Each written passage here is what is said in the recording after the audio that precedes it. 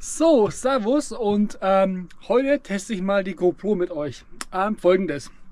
In diesem Video werde ich nicht so Sachen vergleichen wie zum Beispiel, wie ist denn die Stabilisation zu einer GoPro 7 zum Beispiel, die ich vorher hatte, oder zu irgendeiner anderen Actionkamera. Ich werde euch mal hier ein paar andere Sachen aufzeigen, denn so Sachen wie Stabilisation und oh, ist das Bild da und in der Ecke unscharf, sind für mich persönlich völlig uninteressant. Ich kann euch so viel sagen. Die Stabilisation von der GoPro 11 ist der absolute Wahnsinn. Um es genau zu sagen, es ist keine Kamera, es ist eine Waffe. Und ähm, ich werde euch hier ein paar Videos zeigen, was ich mit der GoPro gemacht habe auf der Spire Science Fiction Messe. Und da seht ihr mal die GoPro in einem anderen Einsatz, wie sie vielleicht jeder benutzt. Ähm, ich werde euch hier auch die Menüpunkte mal aufzeigen, wie die Menüsteuerung ist, was ich zum Beispiel interessant finde. Es sind sehr viele Einstellungsmöglichkeiten. Also am Anfang ist man sicherlich etwas überfordert, wenn man von der 5 oder von der 7 umsteigt auf die 11. Es ist schon wahnsinnig viel hier geboten. Und ähm, es gibt nicht viel negative Kontrast, aber ein paar gibt es schon. Und die werde ich hier aufzeigen. Und ähm, ich persönlich habe festgestellt, ich wollte eigentlich die 10er kaufen, aber die 10er ist mir immer zu heiß geworden. So habe ich gewartet, bis die 11er rauskam. Und die 11er wird aus meiner Sicht, also die hat nie abgeschalten, die wird nicht warm. Also die haben da wirklich alles richtig gemacht, muss ich sagen. Und jetzt wünsche ich euch viel Spaß bei dem Video und ich hoffe, dass das, was ich euch zeige, interessant für euch ist.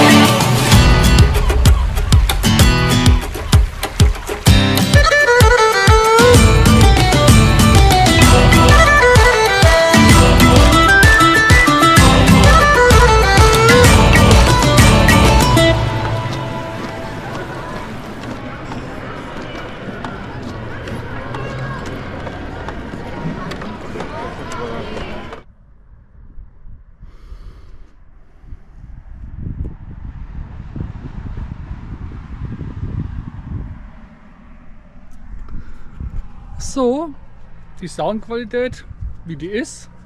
Tests. Das Display vorne ist schon irgendwie cool, wenn du siehst, dich selber siehst. Und der Winkel ist schon echt krass, ne? Wahnsinn, Alter, ist das ein Gerät. So, jetzt probiere ich hier mal den Time Warp aus.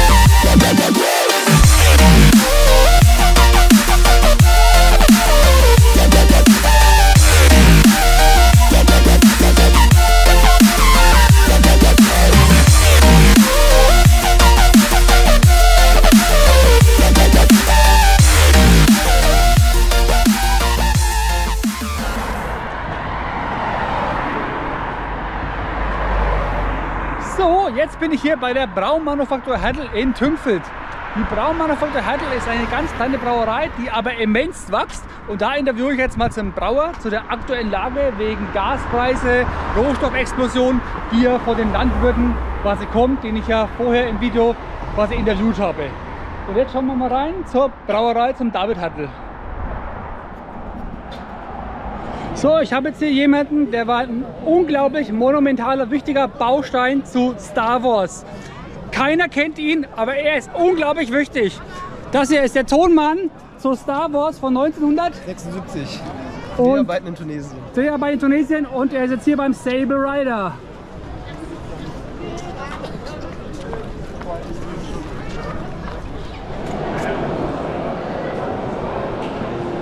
So, Servus, heute bin ich hier in Speyer und zwar auf der Science Fiction Con.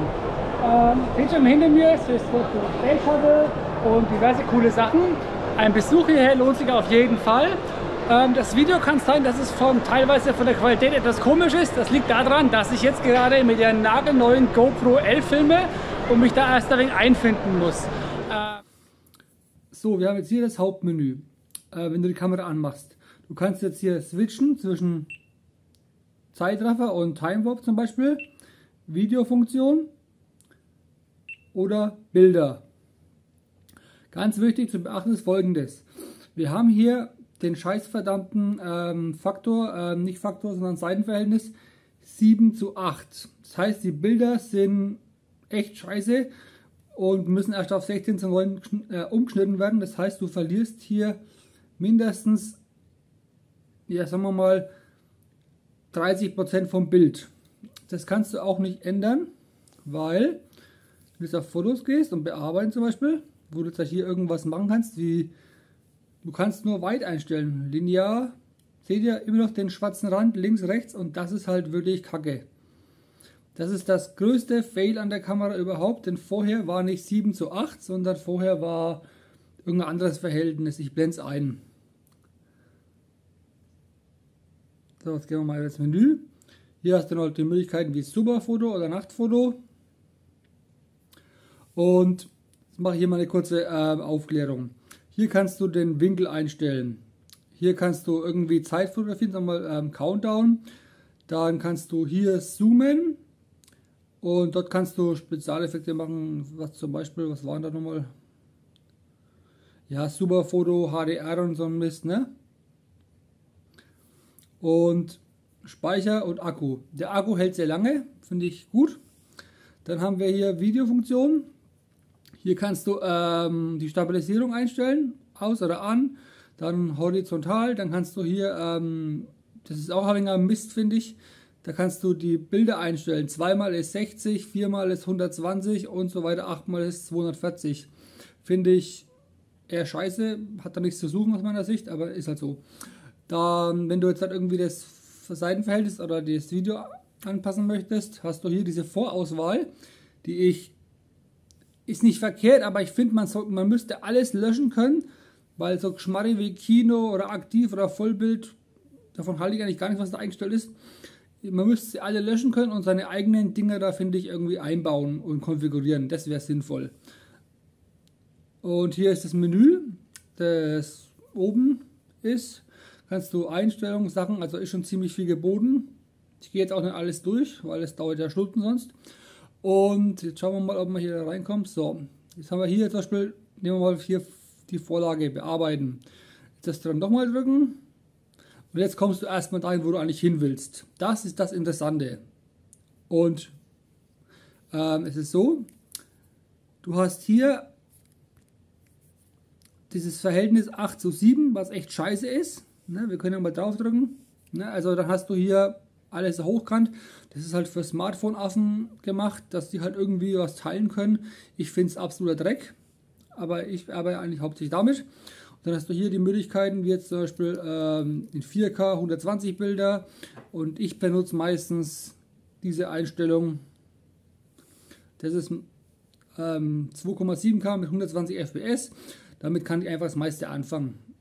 Und ähm, es gibt da Haufen Einstellungsmöglichkeiten, ist auch nicht verkehrt, aber dieses, diese Funktion finde ich sollte bei Bildern, bei Bildern auch verfügbar sein, dass du zum Beispiel von 8,7 auf 16 zu 9 oder 4 zu 3 wechseln kannst, weil die Bilder, du kannst, du musst echt aufpassen, was du fotografierst, weil du musst dann, wenn du es am PC hast, wirklich mindestens 20% vom Bild wegschneiden und kannst es wegschmeißen. Deshalb musst du immer weiter weggehen. Das ist echt kacke, das ist ein richtiges Fail und das ist eigentlich das einzig wirklich große Fail an der Kamera. Ähm, ja, dann, wenn du hier zurückkommst, ist auch immer blöd. Dann musst du hier irgendwie drücken und da drücken. Dann müsste es irgendwie auch irgendwie einen Home-Button oder irgendwas geben. Oder vielleicht muss man auch was wischen. Und das sollte jetzt erstmal gewesen sein von der Kamera hier. Jetzt zeige ich euch mal ein paar, wenn ich euch nicht schon gezeigt habe, ein paar Beispielbilder und Videos. Also gehen jetzt hier mal auf die Einstellungen. Da gibt es schon viel einzustellen.